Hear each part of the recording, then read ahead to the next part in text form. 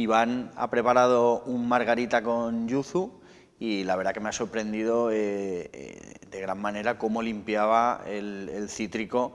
la intensidad que tiene, que tiene el mole y te dejaba, te dejaba la boca completamente limpia para, continuar eh, disfrutando del plato de alitas.